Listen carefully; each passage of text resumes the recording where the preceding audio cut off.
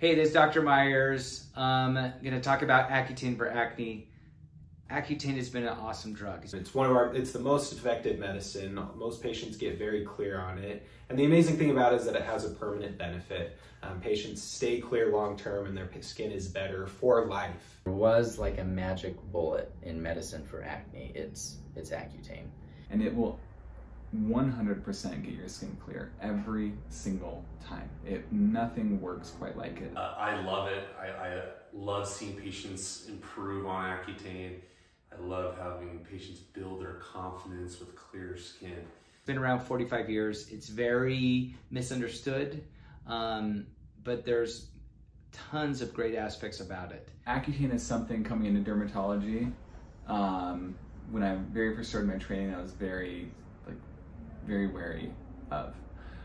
But uh, um, been extremely impressed with it. I mean, no other medicine can you guarantee someone 100% clear skin. You know, um, doing hormonal therapies, doing antibiotics, they all they all help. But um, certainly, there's nothing else we can guarantee someone that will not have any acne um, when they finish it. But Accutane, you can. I like the speed of Accutane. It's it's uh, you know awesome. It helps with back acne, face acne, um, anywhere you're having acne. Accutane can really be beneficial to uh, most patients. Accutane, Accutane's a, a great option for acne, the especially the scarring type, um, acne that you've treated and you've tried to get rid of, and it just isn't working, whatever you've been using. It's good for comedonal acne. It melts these comedones out. These are the open blackheads that are open to the environment. It also calms down inflammatory acne. You know, we live in such a good day and age that, you know, we really shouldn't be uh, having any scars that are resulting from, or, as a result from acne. So if that's happening, I'm quicker to jump towards something like Accutane uh, because, hey, scars are harder to treat and treating with Accutane uh, is, you know, usually pretty straightforward. You know, Accutane is a vitamin A derivative medicine, works to permanently shrink oil glands. Doesn't mean you can go take a huge amount of vitamin A and get the same effect from it. And plus that's dangerous, but this is in a way that's been approved. It's been around that long, 45 years. It, it does a few things. So first, um, it kind of helps to reform your oil glands. Part of the driver of acne in some cases is the fact that um, this bacteria feeds off of the oil production, the oil that's produced by your skin. And so Accutane goes in, kind of reforms those, shuts them down to some degree, which is why people get so dry on Accutane. It normalizes your skin cell turnover, which at, you know, for some people, they say 10 to 15% of people will experience a little bit of a purge um, or an increase in acne when they start Accutane, and that's that's why that's that mechanism. There are definitely ways around that. Um, doing like antihistamines um, every day, like a daily Zyrtec or something like that, uh, levocetirizine or cetirizine.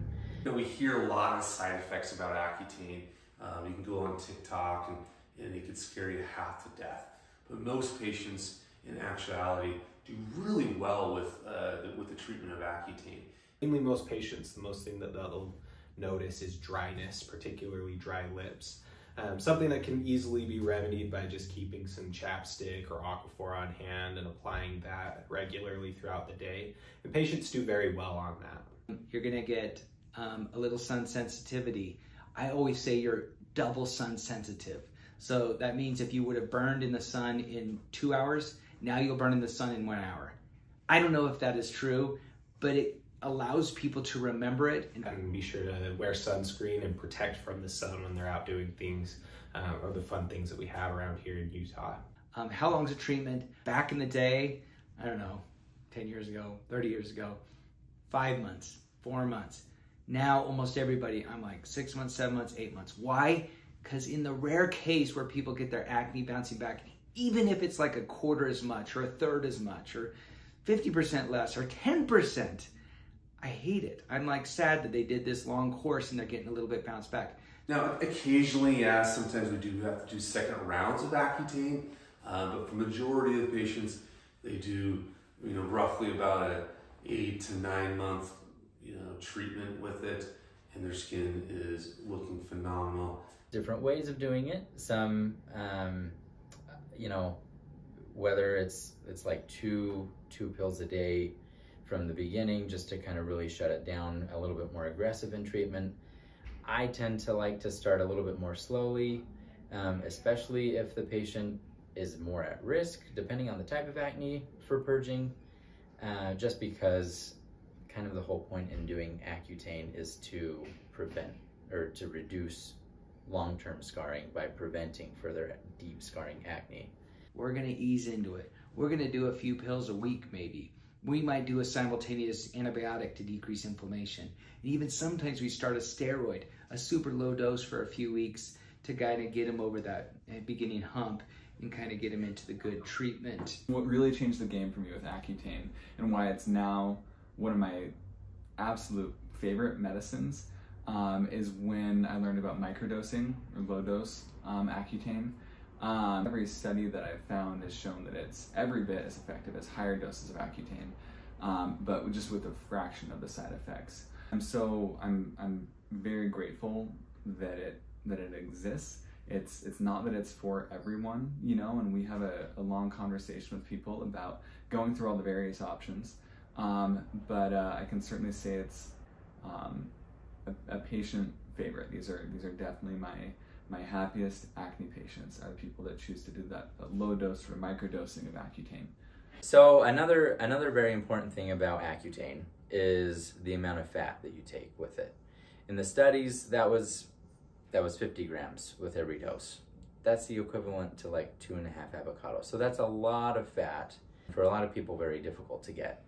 And so, you know, even if even if it's like with a, a, a meal, a breakfast, I mean, an option would be like a baconator at Wendy's or or just a meal at home where you're, you know, there's dairy in it, there's different kinds of meat. So there's a lot of easy ways to get a good amount of fat, not necessarily even getting 50 grams, but still getting some will, will benefit you. Other ways to do it, uh, eggs are a great source. Full fat dairy, um, avocados, again. Sardines, no one's taken me up on that one, but it is a great option, especially if they're packed in olive oil. And so lots of different ways to get the fat that you, that you need um, in order to make Accutane the best that it can be, even if you're not getting that full, steady 50 grams. Sometimes I have people drink an extra glass of water a day saying, hey, if you're drying the outside, you're drying the inside. I don't think you have to drink an extra pitcher of water per day, but hey, an extra glass or two is smart. Because I have noticed rarely some people get headaches like the first month or two, and this is like less than 1%. But those who do, it's usually that they're dehydrated. It's like a dehydration headache, and I'm like, um, often I'll either decrease the Accutane or I'll have them drink increased water, and within a day or two, the headache resolves. The one other thing that I'll add about Accutane that's um, commonly misunderstood, I think, because I think because it's associated with because it can cause birth defects, um, is that uh, um, a lot of people think that it acts on your hormones, and it does not.